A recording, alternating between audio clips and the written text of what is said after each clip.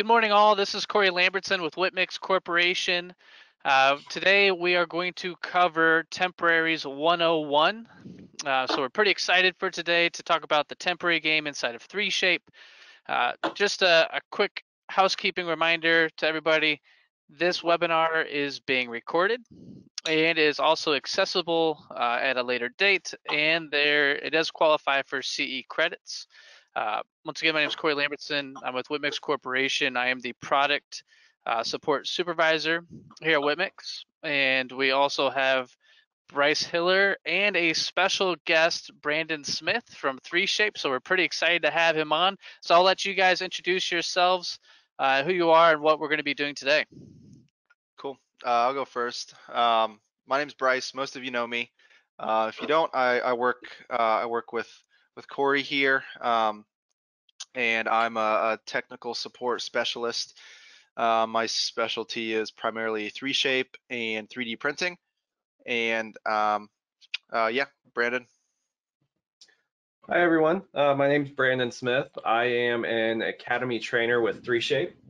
Um, I also did uh, used to work at Whip Mix, uh, kind of in the same position that uh, Bryce and Cory are in. So um, hello if there's some of you out there that uh, I used to talk to on the phone some. So um, yeah, that's that's a little bit about me. Very cool. So today we're going to cover scanning and designing of temporaries. We're going to be using the 3Shape dental system software, and we're going to be using a 3Shape desktop scanner.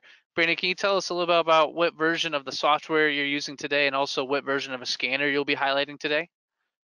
Yeah, so um, the software that I'm running is the new uh, Dental System 2020 software. Um, the release on this is should be within the next month. Um, now, COVID-19 could change that a little bit depending on who's able to actually still work on the software behind the scenes. Um, but the last I heard, uh, May 14th was the target date. Um, it may get pushed back a little bit, I'm not sure. Um, also, the scanner that I'm using is the E3 scanner here. Um, so I'll be doing all the, the scanning on that. Um, it has a full arch scan speed of about 22 seconds, um, so it is, is fairly quick. Um, and there's a long line of these scanners, the E1 through E4, and then you also have the D2000 that we still uh, sell. Very cool. And all those scanners are compatible with the workflow that we're going to be doing today, correct? Correct. Awesome. Now you, you touched on the the COVID-19 uh, how have you guys been doing? I mean, how you personally? I, I see it, it looks like you're working from home. Uh, how are you hanging in there? And and uh, are you are you able to stay busy? And you know, I, I guess uh, you know, just give us some. Uh, I guess give us some insight on how you are today.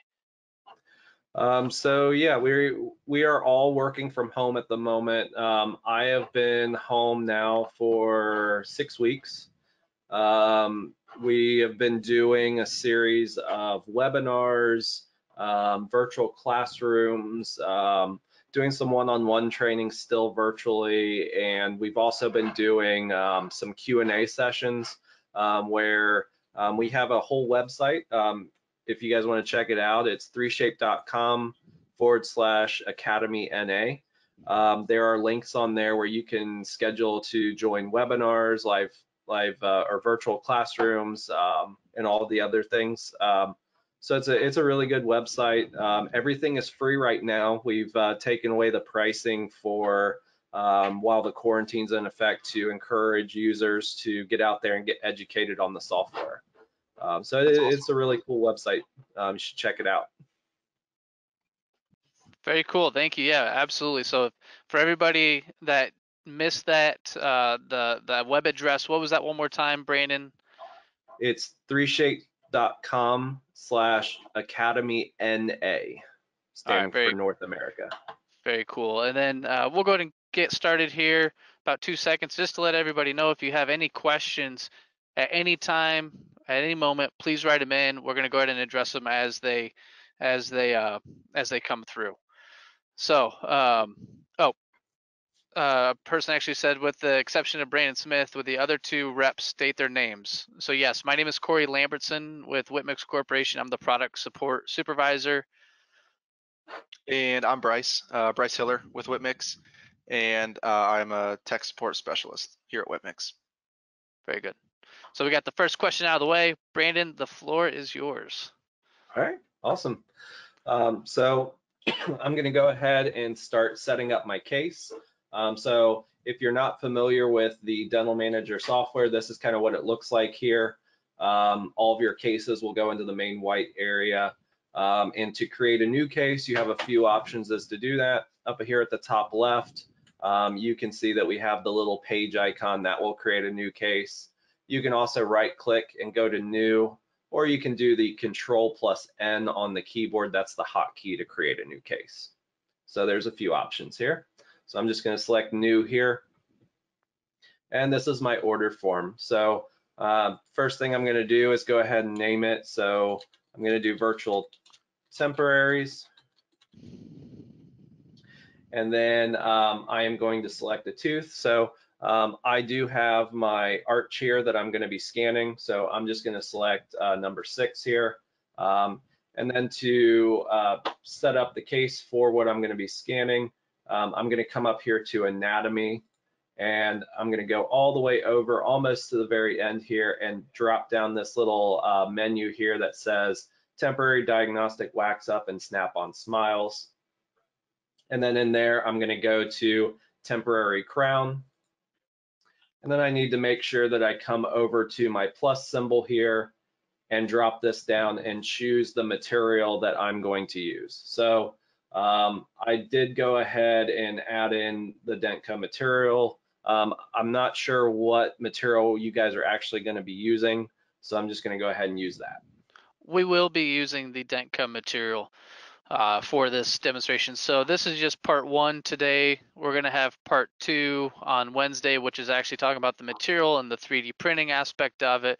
We'll highlight printing it on the VeriBuild 3D printer from Whip Mix and then also the Asiga uh, Max 3D printer. And then on Friday, we're going to talk about how you can actually, uh, some different finishing techniques for the temporary material. Now I saw on that uh, drop down for the temporaries, we're doing a, uh, the, uh, uh, when you go to the actual types, we're doing a shell temporary for this design, correct? Yes. What Yep, if it'll we're, be a shell temporary. Um, you'll also want to make sure, you know, there are different types of materials in here. So if you're 3D printing, you'll want a material that uses like a printing process as the, the manufacturing process down here. Um, so I actually didn't set, quite set these up properly because it still says it's a milling process. Um, so the difference is going to be um, if you choose a milling process, it's going to apply drill compensation, which will give you some over milling in areas that are thinner than a certain drill radius. Usually about if if the mill if the burr is a one millimeter burr, it'll be a half millimeter radius. Um, so it'll apply that. So I'm going to go ahead and switch this over to model material so that we do a printed process with no over milling. Very cool. Um, Um, and then the next thing that you go ahead. No, no, no. Oh, okay. Um, the next thing that you can do is um, if you're not going to prep the model at all, you'll need some way to place the virtual temporary. So if you come down here to appliance, you can select a positioning guide.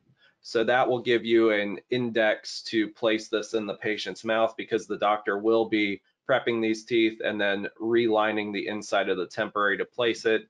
Um, if they adjust it down a lot more than what you do in your shell design, it's going to fit really loose on there. So you're not, you're going to have a hard time positioning it. So rather than having to print a model of it with it in place and then do a suck down, you can actually just add a positioning guide to it. So I'm going really to cool. select positioning guide and do another printed process. So this is how you'll set it up. Um, you can see that the object type up here is model. You can do these on digital impressions as well. Um, so you just need to make sure that you have the proper object type set up here. And then I'm gonna do unsectioned because I have no removable die. So I'm gonna go ahead and select scan. And now it's gonna take me into the scanning software. So I'm gonna move my camera so we can see the inside of the scanner a little bit better.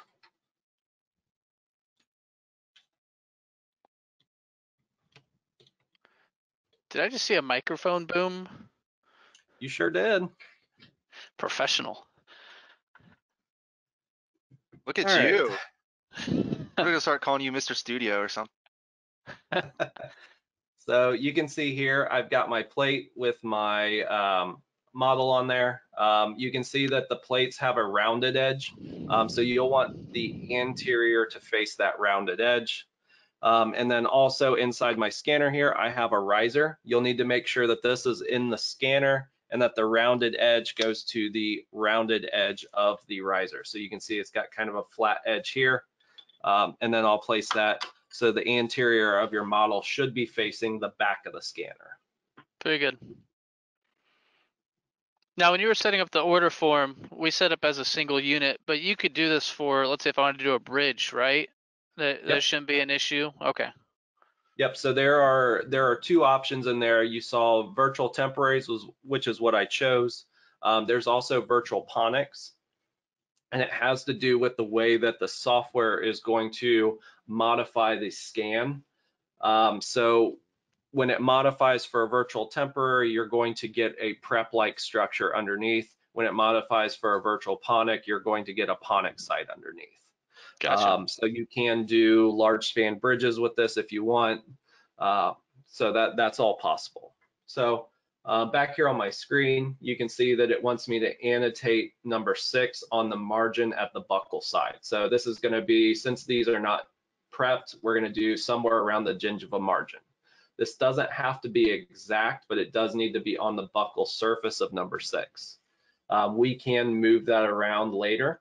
And then you can either use your mouse to select the area that you want, or you can come over here to the left and select select all, and that will select everything that shows up. Um, or if you want to clear out your selection, you can hit the clear selection with the red X. And then if you select everything here, and then you want to adjust where you've selected, if you click on the minus, you can actually remove some of your selection with the minus tool. Very cool. So I'm going to go ahead and select next now, and it's going to finish out the scan. While we're waiting, uh, we did have one question come in, um, and I'm not sure if uh, we're going to touch on this later or not. Um, but we have a question that is, uh, is there a way to print a model of the prep teeth? Um, there is no workflow through the software where you can print prep teeth. There are some people that have in the 2020 software found uh, like backdoor techniques to do it, uh, but it is it is limited. Um, so to do it, you have to have individual teeth. You can't do it with a bridge, um, and it has to do with file manipulation, and it's it's kind of something that 3Shape as a company doesn't sell or show, but if the resellers want to show, um, they're more than welcome to. Yeah, okay. Now, is there, uh, I mean, why, why is that? I mean, it seems, because that's, you know, on the reseller side, we get that, when it comes to, to t- printing or doing, you know, any digital temporaries in 3Shape, that's like probably the first question we get is, well, how do I print the model? So Um, is there, is there a specific reason why 3Shape hasn't integrated that yet? Yeah, it has to do with the FDA. Um, basically, if we virtually prep the model and we give that to the customer, we're basically saying that, you know, we're giving them something where we've done basically dentistry, which we're not allowed to do. Um, so while we can make a shell temporary, we're not technically allowed to manufacture the model that goes along with it. Um, so that's why we have the positioning guide in there so that there's no issue seating the temporary. Gotcha, cool. So it looks like we also had another, uh, just a comment come through as uh, Vinny from Stony Brook. He just wanted to say hi to everybody and especially say hi to Brandon. Um, so I, I, uh, I, I, I'm guessing you and uh, Brandon probably worked a lot together when Brandon's here at Whip Mix. Hi, Vinny.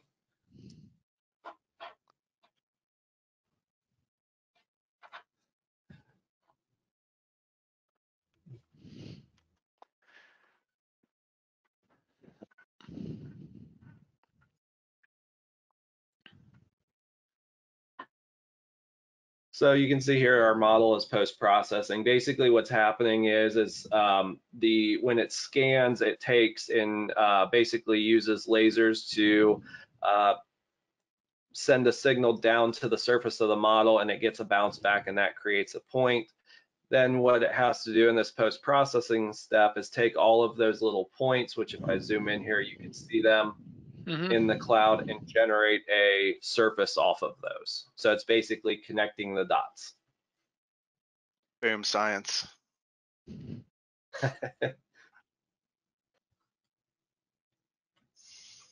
Um, another neat trick that you can do, um, since you have the ability to jump through the workflow, um, if you're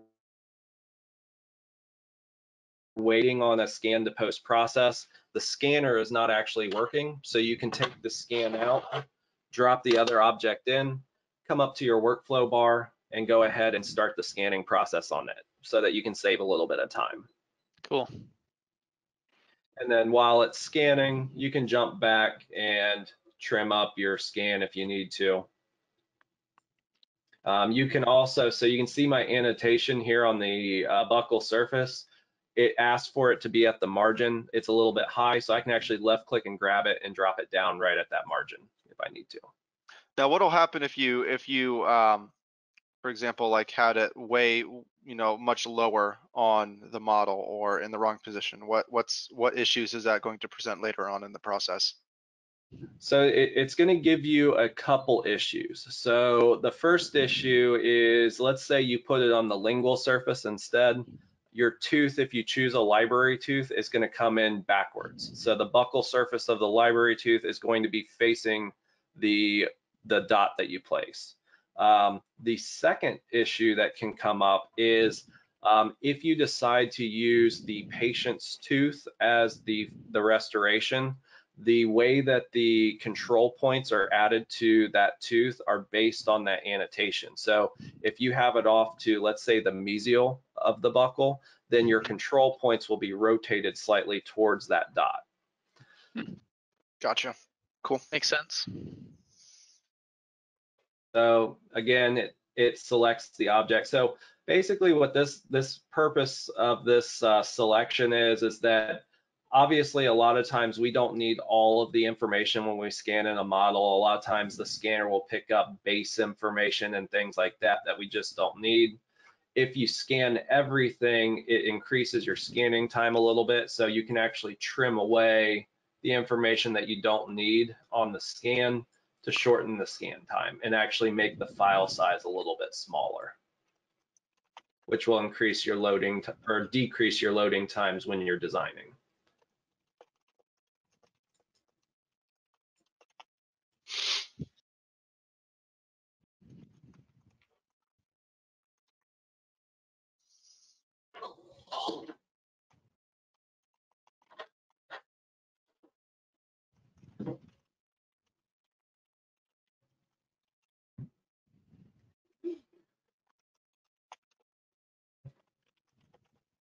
So a couple a couple things I'll show while we're waiting for the scan. Um, not a lot of people know this, but there is a scanner settings box over here on the right um, where you can access any of your options for your scanner.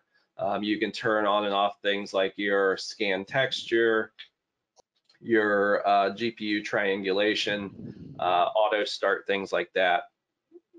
Um, another neat little trick to this um, is let's say you have two computers that are running the scanner um, and you don't you can't obviously have the scanner hooked up to two separate computers so if you use the IP address or the local name of the PC up here in the box on the computer that is not connected to it you can actually remotely connect to the scanner and scan from two separate computers Cool.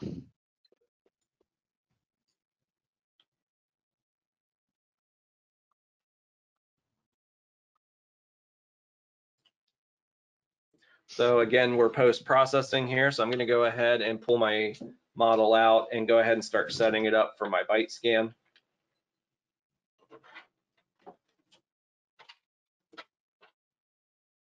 And there's a couple things that you can use to put your bites together. Um, depending on how heavy the models are, you can use rubber bands, you can use hot glue and popsicle sticks.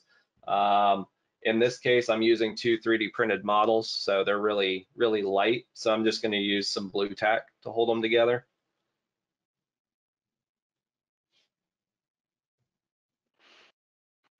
Now, if you didn't have blue tack, what other options could you use?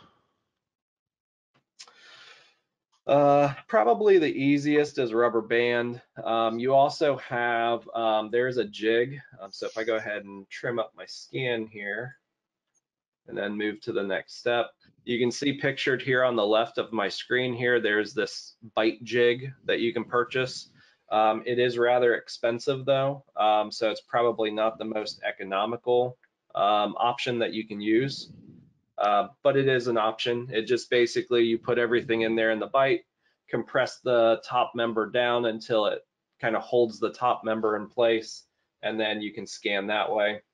For me, I'm using blue tack on the inside of my bite to hold my bite in place. Um, but again, these are not stone models, so they are really light. So this will this will hold these just fine, but something else uh, heavier like stone won't hold up.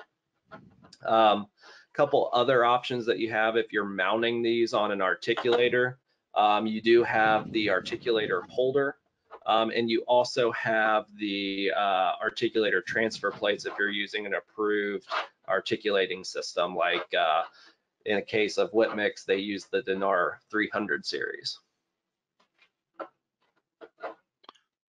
What about like a hot glue gun?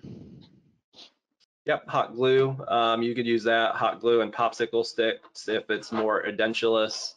Um, but yeah, you have options. Uh, just be careful with hot glue because when it cools, it does uh, contract a little bit. So it can change your bite slightly if you have a lot of edentulous areas. Gotcha. So it could distort. Yep. Um, so you can see here, my bite scan is done. I did have a little bit of the lower cut off because it is a rather short model. Um, our scanner does have kind of a sweet spot where it expects the arches to be positioned within the scanner. So if you have a, a rather short model, um, you can use some blue tack to kind of prop it up higher in the scan plate and it'll scan, it'll get more information down there. If I go to my alignment results here, you can see that it didn't automatically align. So I'll just have to come in here and manually align. So starting with the lower, um, it's really simple to align these. So we have these two lower windows here. Um, if you uh, just want to do one point, you can, or if you feel like it's going to be harder to align, you can select three points. So you have those two different options here on the left. So I always start with one point, and I'm just going to click one common point on both the bite scan and my model scan. And then we'll see so if you get this kind of marbleization um, across the surfaces of the scan here, that means that they probably aligned uh, correctly. So I'm just gonna go to the upper and do the same thing. And I like to use um, areas that are kind of like what I like to call hard transitions. So like right at the gingiva margin, you can definitely see like a line there if you try to use like the center of the tooth, sometimes that surface is too smooth and it can't figure out the two objects.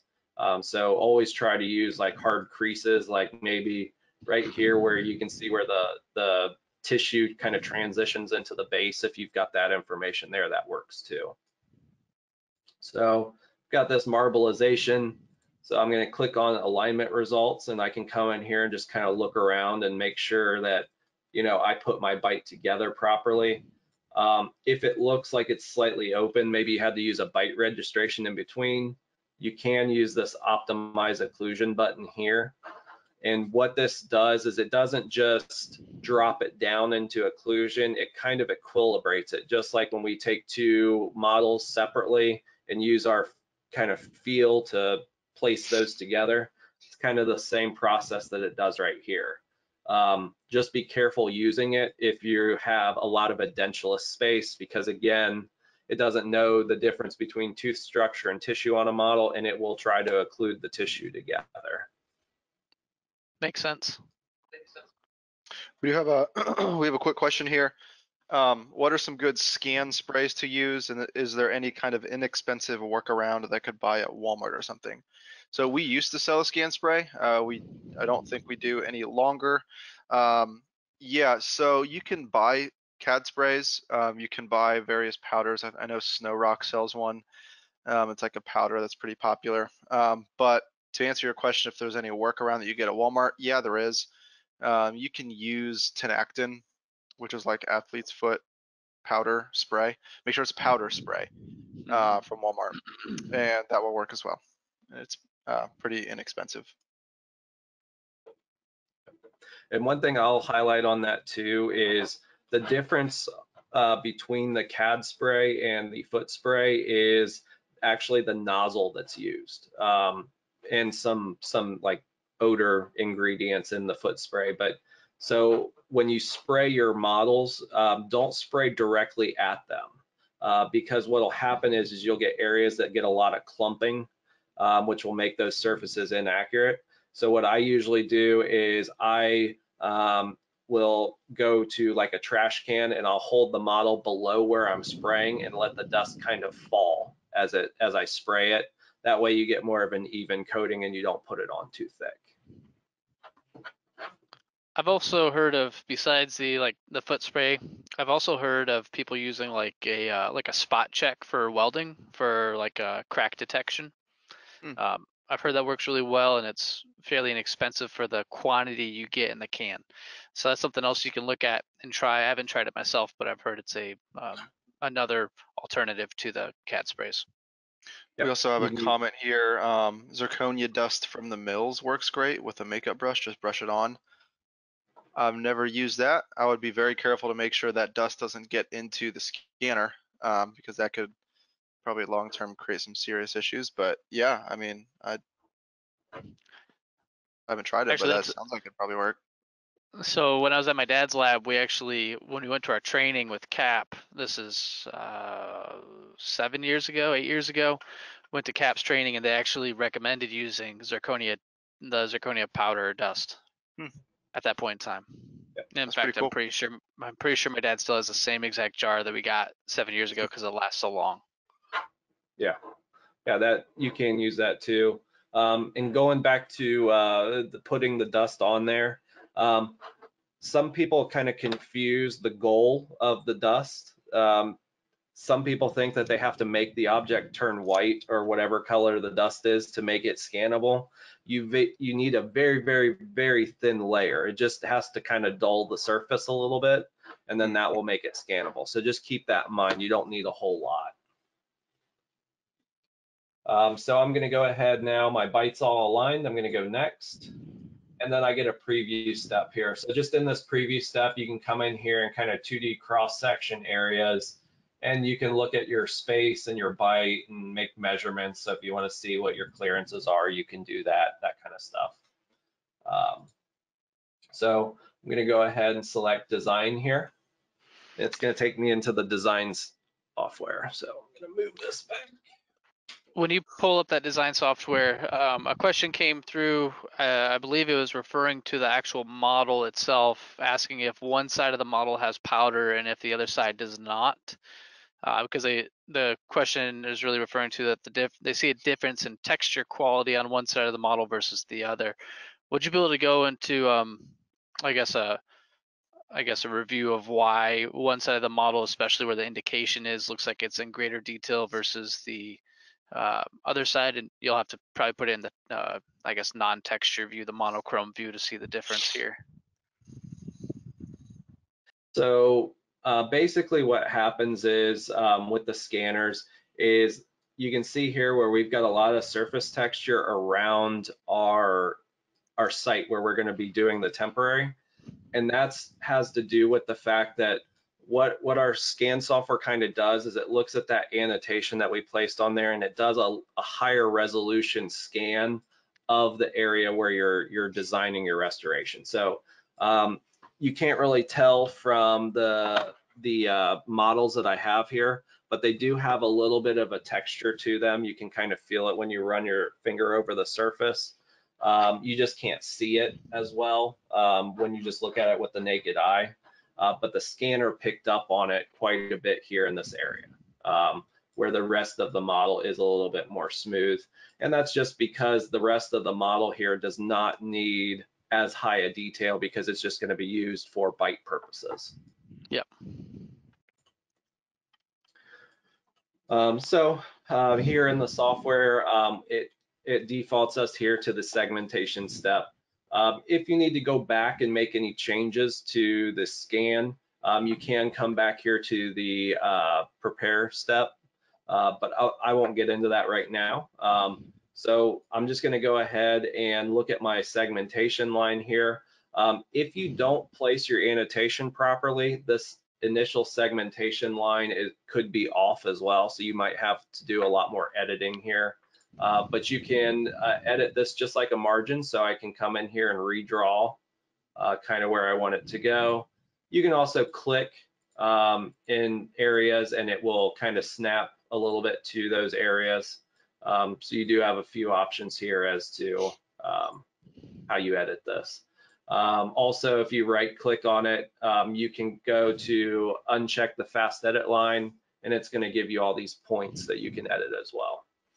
Um, to change the amount of points, if you come into, um, I think it's, actually it doesn't give me the option here. Um, so you, you do have to actually edit each individual point um, if you want to use this option. And you can see as I'm grabbing a point, it gives me the little 2D cross section there uh, right above it that shows me kind of where I am on the surface. Um, not as handy here, but it is more uh, more usable when you're doing like an actual die prep um, and marking the margin.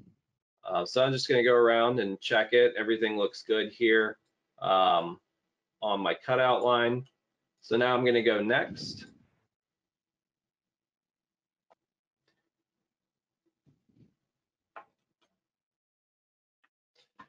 And now what it's doing is it's actually segmenting out that tooth So you can see it kind of cut it out here along this line. Um, and now I'm doing a insertion direction here. So um, when you have a tooth like this, I always like to look at my contacts to see kind of where uh, parallel would be along my contacts. So maybe about like right here. And then I'm gonna hit the set button here on the left.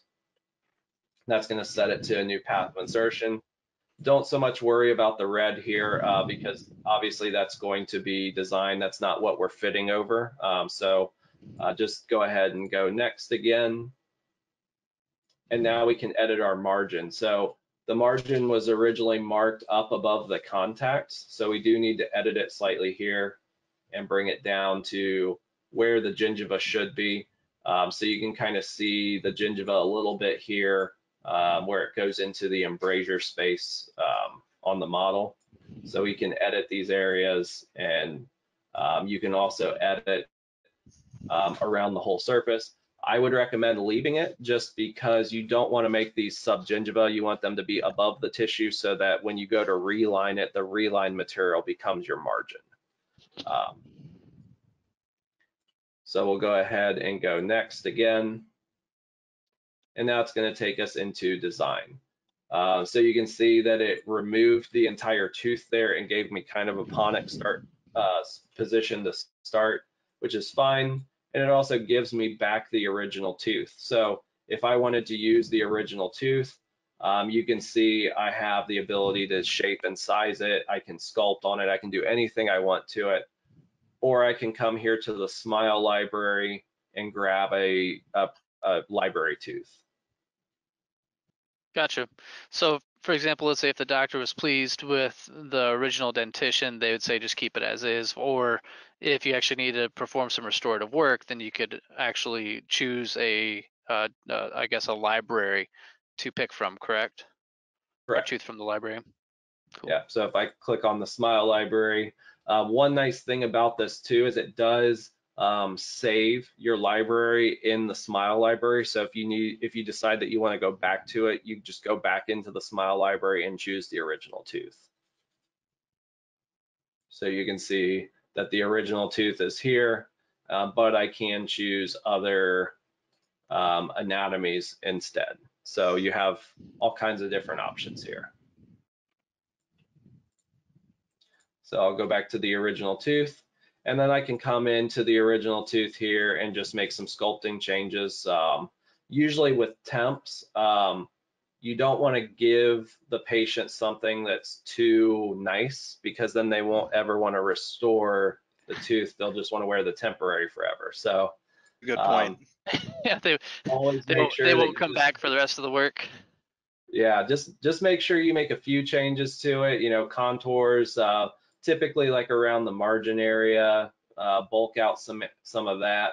Don't make too many changes to it because obviously the original position is there. Now, if you have you know a broken tooth, maybe use a library tooth at that point, or um, you can get creative and sculpt in your own anatomy to the broken area, um, filling that in if you want.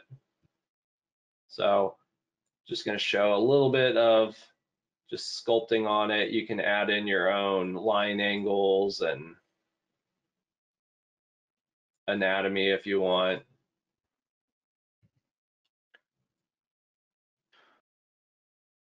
So just like that.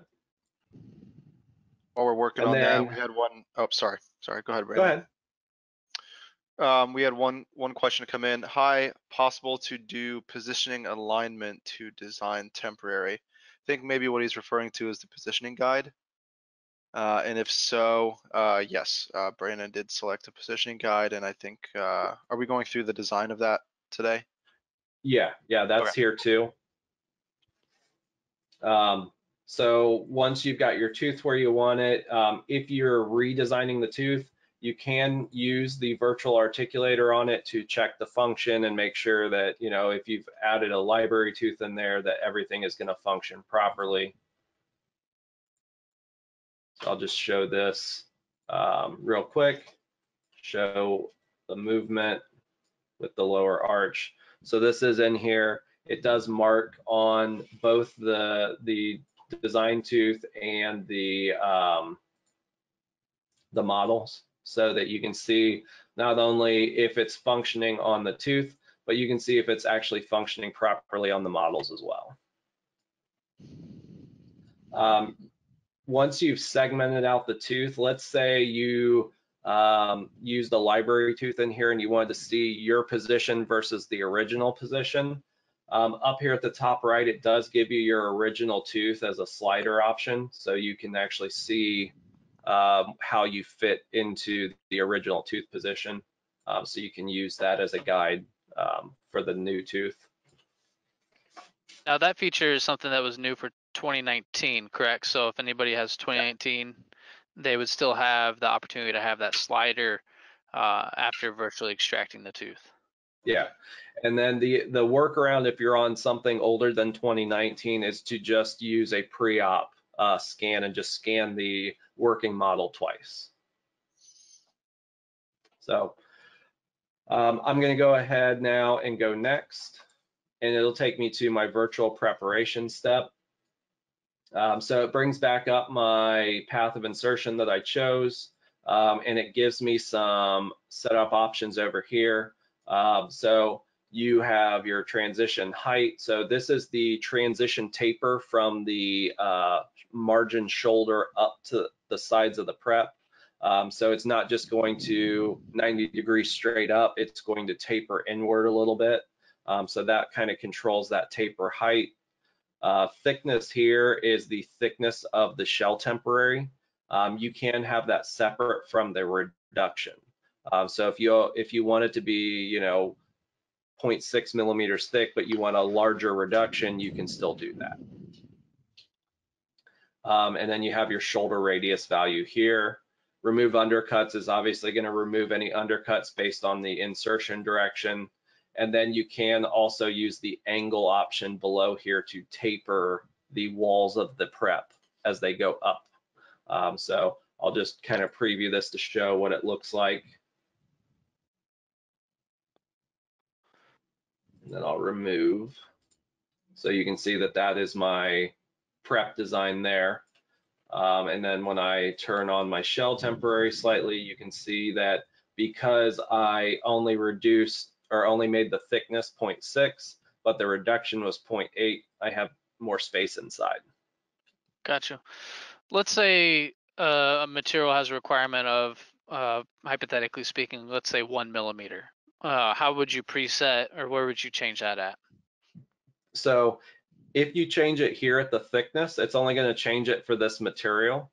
If you wanted to change it across the board, you would need it to go into the control panel.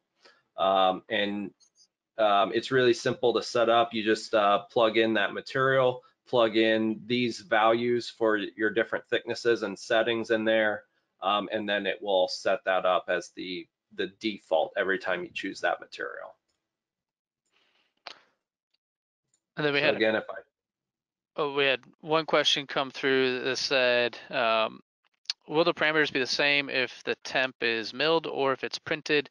Uh, the answer would be no, you'd want to use the, I guess, the parameters that are determined for the material manufacturer. So uh, PMA is going to have a specific minimum thickness that has to be within, and same with printed materials. There's going to be two separate uh, settings. You need to read the instructions for use uh, according to what it would be. I I believe for PMA, uh, what you wouldn't go below six tenths of a millimeter. What would you? What do you guys think? I would say eight tenths of a millimeter for PMMA. Eight Um, tenths. just Okay. Have I, I one, tend to um, treat it. Go ahead, Brandon. I was gonna say I tend to treat it more like Emax, um, just Okay. because that's a fairly weak material. we have another question. Uh, is there a way to print a reduction guide based on the virtual reduction to verify adequate reduction based on the designed restoration? Um, I don't, probably, you're probably gonna run into the same FDA issues as printing the model, I would imagine, right, Brandon? Yeah, you would. Um, like uh, again, like I was saying before, there there is a way that you could generate a model off of this. Um, it's not a validated workflow and it's not FDA approved. Um, so it's not something that I can particularly show you, but there are some end users and resellers out there that know how to do it um, that can show you that technique. I will say it has a lot to do with file manipulation within the order form. So it, it, can be kind of difficult for users that are not as computer savvy to, to work around it. Cool.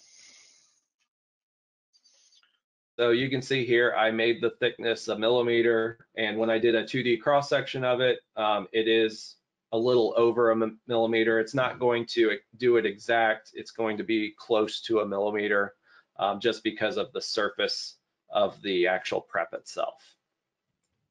So you can see here, it's closer to a millimeter. Um, so once you have your reduction done and I select next, as long as I've set my order form up for a positioning guide, it will take me into the positioning guide design.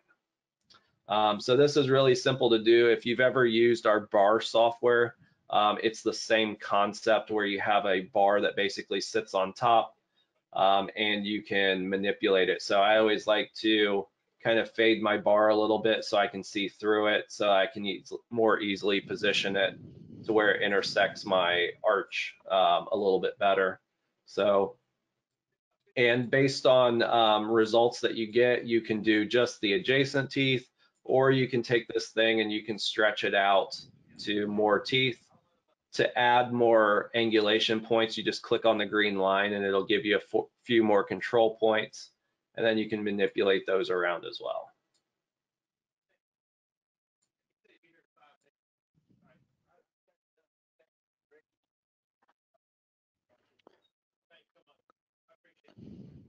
So we had another question come through. Um, how much stronger is the best printed temp material available and at what thickness? Um, so the printed temporary materials for FDA clearance, I believe the Dentca is one of the only uh, temporary FDA approved 510K temp uh, material available. The I was just looking it up. The flexural strength on it. Um, let's see here. I believe it is equivalent to 50 MPa. So it's not you know, this is just a, a temporary, not a long-term device. Uh, so you have to keep that in mind. Uh, the advantages of having a temporary versus milled restoration is the amount of time it's going to take to mill it versus 3D printing it. So you have to, I mean, a milled temporary and a printed temporary, the milled temporary is always going to be stronger.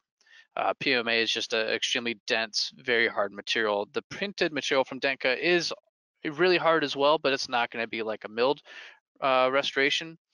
Uh, but you have to remember the wear and tear on your machine that you have with milling PMA, and then beyond that, how much faster you can 3D print it. And we'll be able to demonstrate that on Wednesday when I actually 3D print the temporaries. I think the, Uh, uh, I think the DTAX preprint temporary resin, if it's not approved yet, I think it's gonna be pretty soon, Cool. uh, on the Asiga Max. Cool. I can look that up real quick as well to see what Uh, they let's have. see, here's, while you're doing that, uh, for bigger cases, can we, can we position the position guide on the palate? Uh, or floor of the mouth for full arch cases? I don't see why not. Um, Brandon, what would you say to that? Yeah, I, I can actually show you that here. So if I stretch this little posterior segment out and then just take and pull it all the way down, whatever whatever I intersect the model with with this, it's going to cut it to the the model itself. So if I bring this way out here and then just intersect the bottom, it's going to cut it to the palate. So I just have to make sure that I stretch it in there um, to get it positioned onto the palate. So yeah, you can. Cool. And then, uh, does the position guide print or mill separately or together with the shells? Uh, that's gonna be separate. Yeah, it's going to be two separate STLs. Now, if it's two separate STLs, that means we have to do two separate print jobs. Uh, obviously, the temporary we're going to print out of the temporary material, but what what type of material would you guys recommend printing that positioning jig out of? I would just say some kind of cheap PMMA. It's not a long-term device. Um, so you could use surgical guide material. You could use some kind of printable PMMA. If your temporary material is cheap, then just print it in your temp material. Um, that way you can run it all in one build. I would say probably surgical guide resin is gonna be, I think the, the optimal, A, because it's, it is, you know, considered by the FDA as a class one or three? Class This is one a- medical device. Surgical guides are class one because it's an accessory to a medical device. Right, so it is indicated for intraoral use, just not long-term, so it can go in the mouth safely. Whereas like a model resin, for example, you wouldn't want to print in a model resin because that is not indicated to, uh, for any kind of intraoral use. Um, and I think probably surgical guide is gonna be a better option than splint than like a splint resin because it's gonna be cheaper because splints are considered class two medical devices.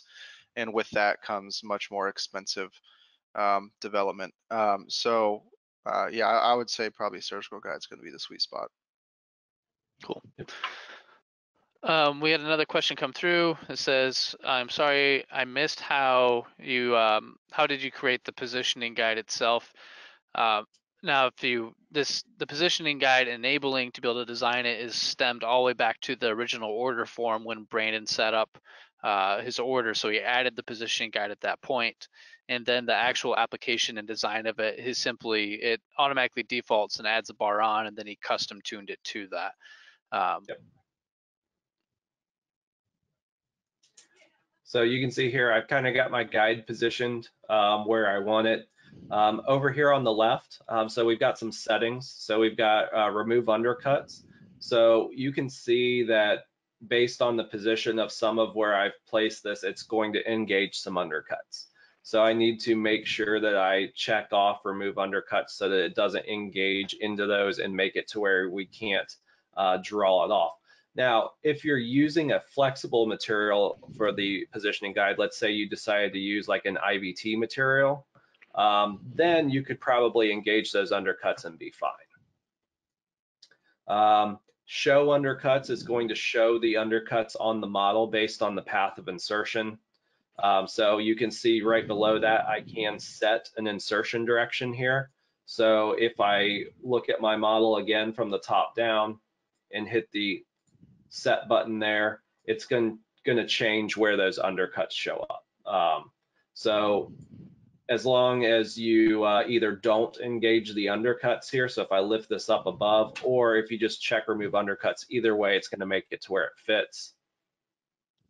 And then down below that, you have space to scan and design distance. So that's gonna be like a little spacer inside so that you have a little play to where it doesn't uh, lock onto the model a little bit. Below that, you'll have drill compensation. If if I had chosen like zirconia or something like that for the positioning guide material, I would have my drill compensation and then I would be able to enter in my drill radius and things like that there. Um, so I'm going to go ahead now and go next. And it's going to take me to the sculpt step.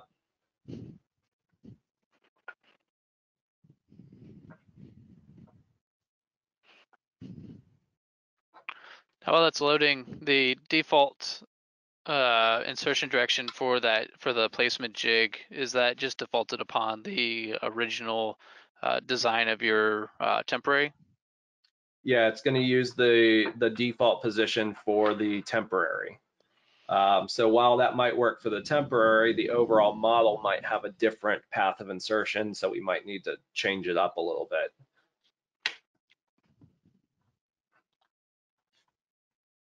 So basically what it's doing going from positioning guide to sculpt is it's actually cutting the whole intaglio surface of that positioning guide to fit to the model.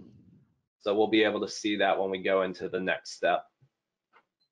So sometimes this can take a little bit of time, similar to the amount of time if you've used our denture software where when you cut the pockets in to the denture base, it does take a, a little bit of time to do that as well. Um, so usually this will sit for a few seconds.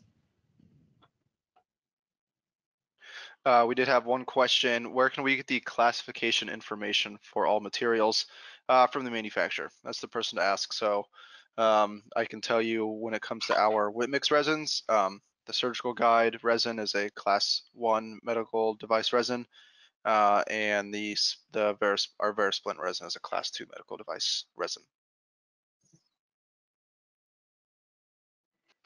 Then we got another question that says, can I open a screw hole to the guide?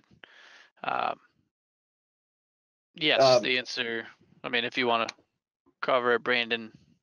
Yeah, I mean, there, there are two ways that you could use the positioning guide. Um, if you're doing a temporary and you're doing it over an existing implant site, um, if you scan it in using the, uh, the actual DMEs, maybe scanning this in as like a screw retain case, um, it will automatically put the screw access hole in there for you.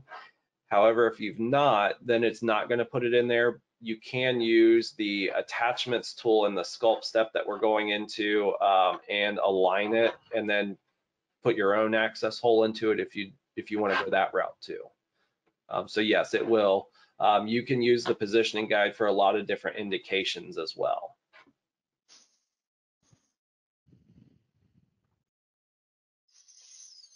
Uh, is the positioning guide available on other Crown and Bridge cases? Um, I think Brandon, it, correct me if I'm wrong, but I think isn't the position positioning guide available for temporaries, custom abutments? Um, aren't there two more things that you can use a positioning guide for that the software will Um, allow? Yeah, you can use it for um, some crown and bridge indications. Um, you can use it for anything within the custom abutment area um, or implant area. Um, it will work for, um, I think, I think it's just crown and bridge indications and implants at the moment. Okay. Um, I can't I think of was just- anything else off the top of my head that it works for. I thought it was just veneers under the crown and bridge. Yeah, I think that's, that's what I was thinking too.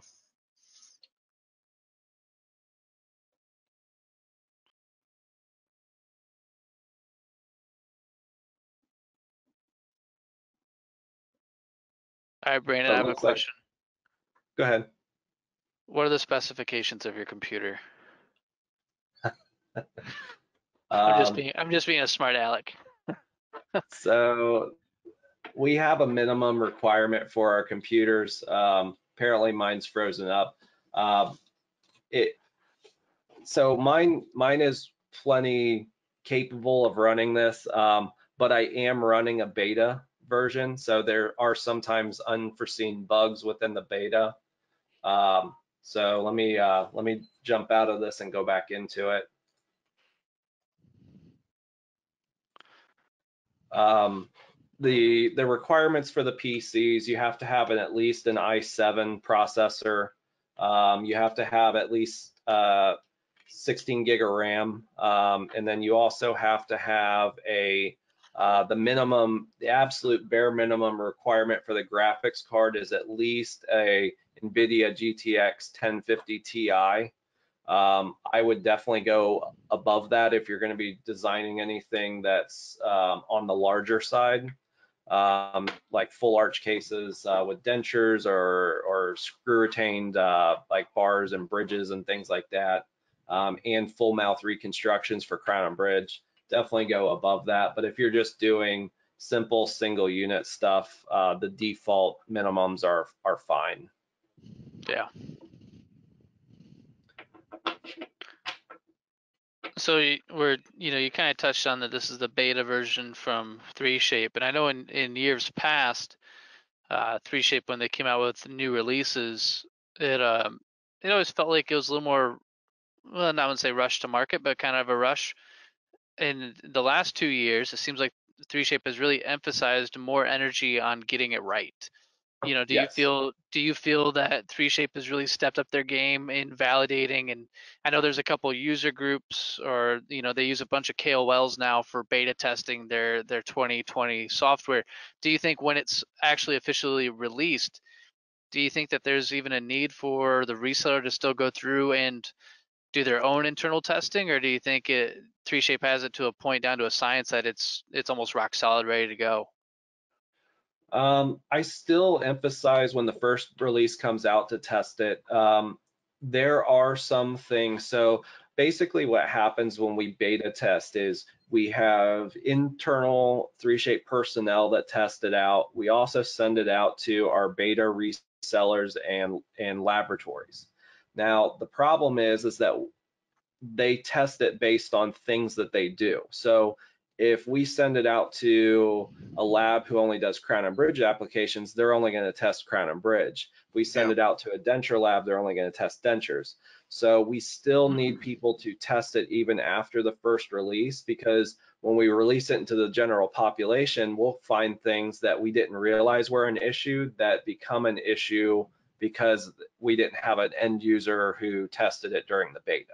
right So um, there's always that issue. And then the other issue you have to watch out for is if you're doing anything with implants, you have to make sure that whatever companies you're sending to, especially when you go from like 19 to 20, that those implant companies have validated their DMEs for the new version. Uh, because what'll happen is you'll upgrade and then no implant companies have validated and then they won't accept your files. Um, so just keep in touch with your implant reset or your implant providers and make sure that they've validated before you do your update. So it let me go ahead now um, to the sculpt step. So uh, going back to that question, if I needed an, a hole in this, if I was doing maybe a screw mentable, um, I do have the attachments option here. And then I can go to holes um, and go to whatever size hole I want and place that in the site that I need. And then I can cut that out of the, um, the positioning guide. Now, if you, if this was actually gone through the screw retained workflow, it would automatically place that hole for us, correct? Yeah, yeah, that would, that would already be there if we were doing a, an implant case. Gotcha. So here, um, I can do some sculpting. I can smooth some things up if I want. Uh, just cleaning up the overall surface. You can also see that it has now cut to my model. Um, so you can see back here, it does have some tissue contour on it. So this will rest on the tissue as well. So if you have a, a case where you're maybe doing a full arch, you can still put this down onto the tissue and get it to seat. Um, you can also see that it's cut to um, the crown that we designed. So it will, the crown design will fit up in there as well. Very cool. Uh, so from here, we'll go next. And now it's gonna give me um, my ID tag. Um, so you can use this or you cannot use this. Um, one of the things that's nice about this is um, before it used to be that you would do um, this before you would do the sculpt step, and then you would have to watch where you placed your text. If you ran over it with the smooth tool, it would kind of wipe it out. Um, Kind of a nice change. Yeah. So I can come in here and position this around on the surface to where I want it. If I want a different text size, um, I can come here to font height and I can increase my text size. Um, then if I go to text depth, it works similar to model builder where if you put a negative value in there, it's going to inscribe it into the positioning guide. If you put a positive value there, it's going to have raised text off of the surface of the positioning guide. Very cool. Then from here, I can go ahead and select next. And now it's going to take me to the end where I can go ahead and save it and close out.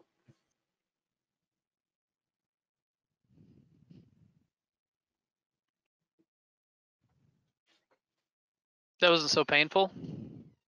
No. I think Easy peasy.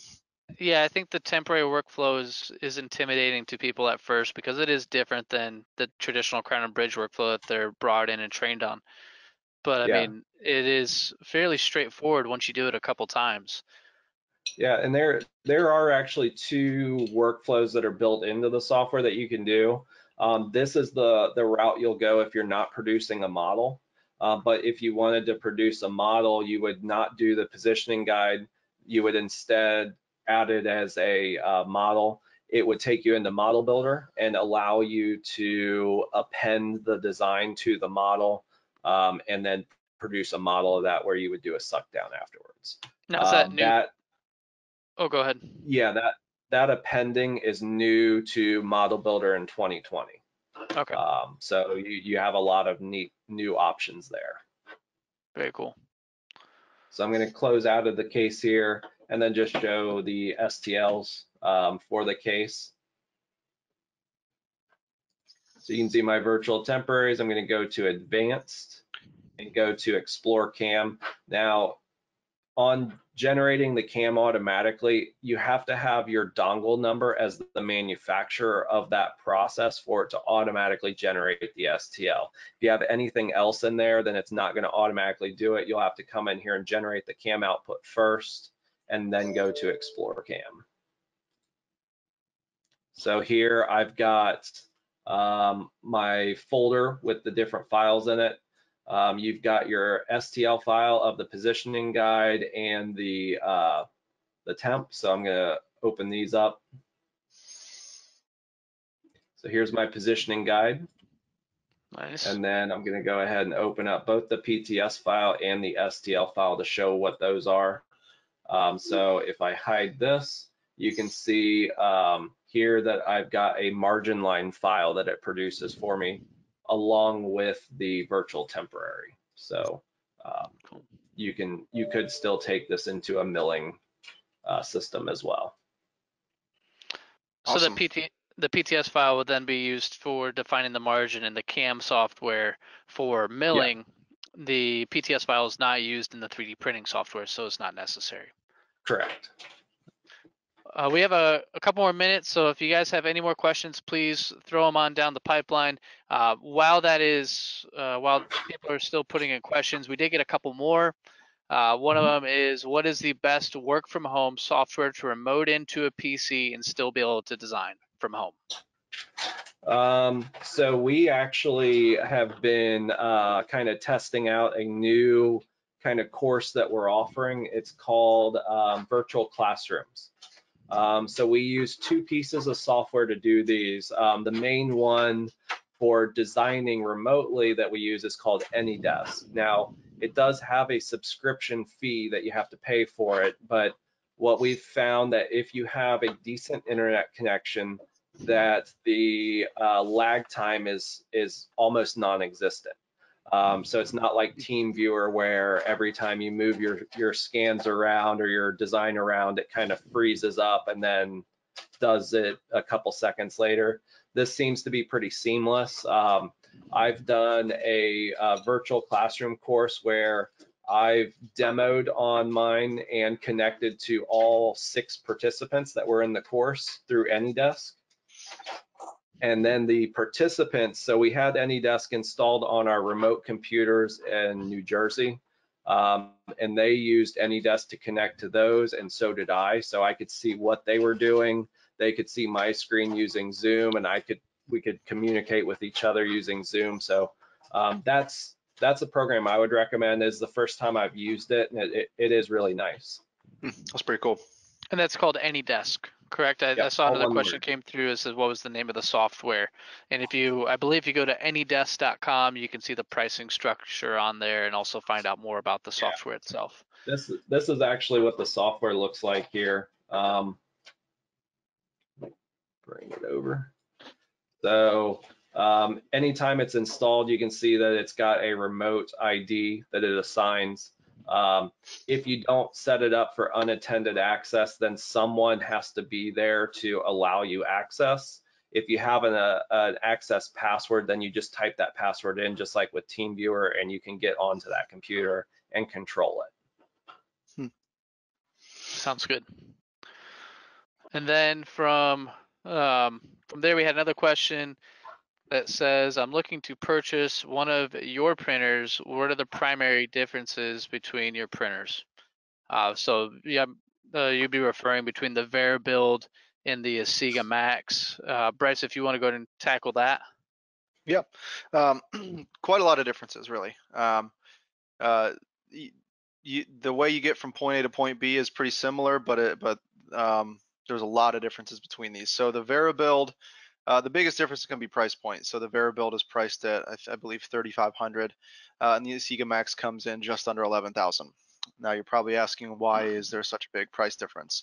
Uh, the reason is the technology. So the VeriBuild uses LCD technology. So essentially if you if you imagine your phone screen uh, that's kind of how the printer functions so there's essentially a, a phone screen or if you will an, an lcd mask with a uv led array underneath of it um, that exposes each layer and uh, cures the the resin um, the asiga on the other hand uses uh, it- it's a dl it's a dlp printer so it uses a a projector a uv projector rather than like a phone screen um, so the the advantage of the of the VeriBuild or the LCD printer is the price. It's much cheaper technology. It's been around a lot longer, um, and uh, you actually uh, you actually may get better accuracy on an LCD printer because you can get the pixels smaller because you're not limited.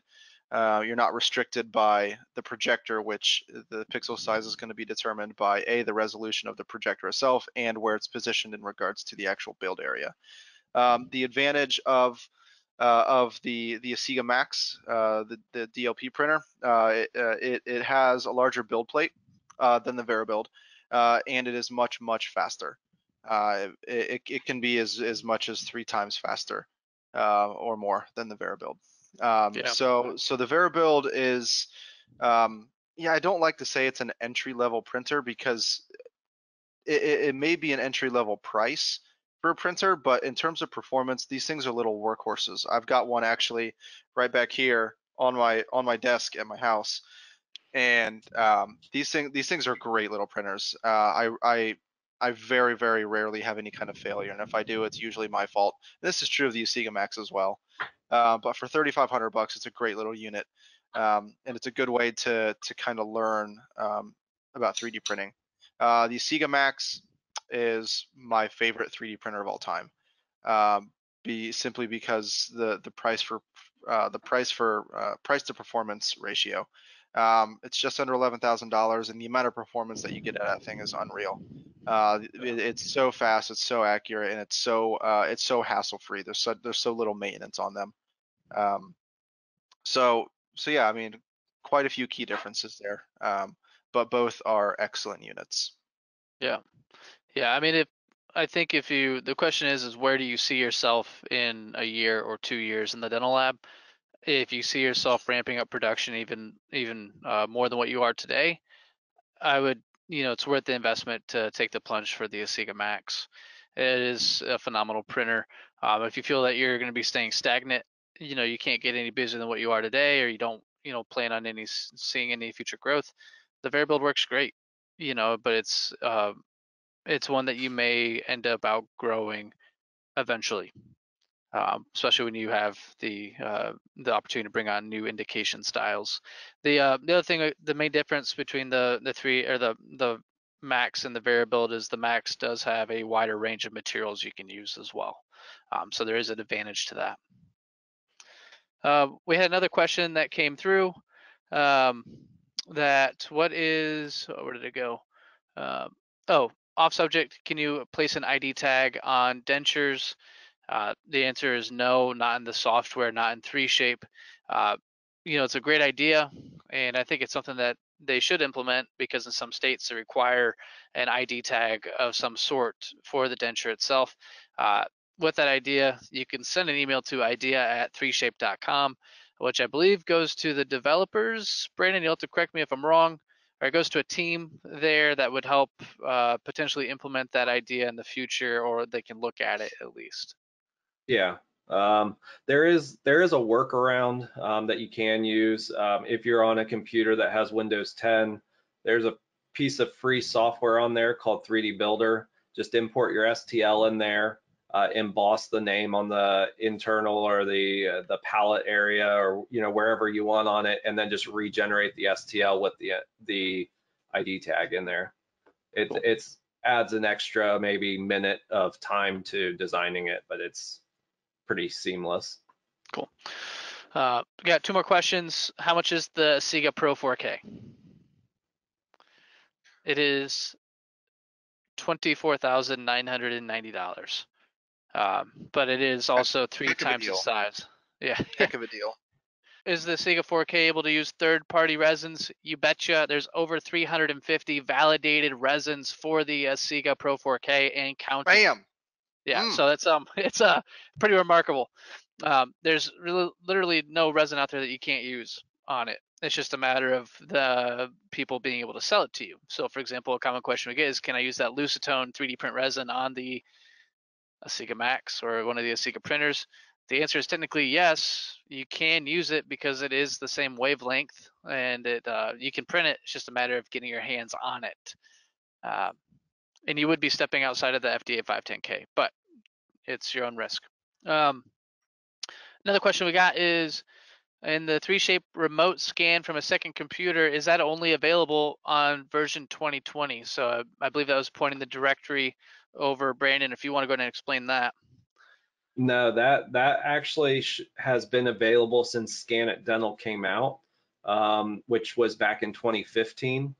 Um, so you should have access to it now if you're on even the last three, four years worth of software. Um, it's just an extra option that nobody really knew what it did, uh, but that's kind of what it does. Very cool. Well, that looks like it's all the questions at this point in time. Brandon, we cannot thank you enough for what you did today. Uh, I believe you will be joining us on Wednesday and Friday as well. Yep. Very good. So Brandon will be able to heckle me and Bryce this time around. And uh, uh, once again, thank you all that have joined on. Remember, Wednesday is uh, we're going to be talking about the 3D printing aspect of it. So we'll be looking at the VeriBuild and the Asiga Max and looking at both of those nesting softwares and uh, printing them. And then on Friday, we'll be talking about post-processing the prints and cleaning it and curing it and maybe doing a little bit of finishing work as well. See if uh, the time allows it. Um, we did have one more question that came in. Do these printers come with their own computer or is that optional? The answer is no. They do It's not come no. with a computer. Yeah, it's a it's a hard no. So the computers, I mean, we can sell the computer with it. However, the requirements to run that software is extremely low. Um, you can use your 3Shape software. It's not going to be taxing on your 3Shape or sorry 3Shape computer. You can use that computer and it's not going to be taxing enough on it. So um, I mean, I have a, a simple laptop at home that I uploaded the software on and it works just fine. And it's not even close to being anything performance wise. But good question. Um, thank you again for your time today. Remember, this is a recorded webinar. You can watch it again later. Uh, there will be the CE questions coming through. Uh, my name is Cory with Whip Mix Corporation. Thank you so much for your time. I'll let you guys do your own outro. Bryce, thanks for joining. Uh, looking forward to seeing everybody hopefully on Wednesday. And yeah, talk to you then. Thanks, guys. Appreciate it. Take care. See ya.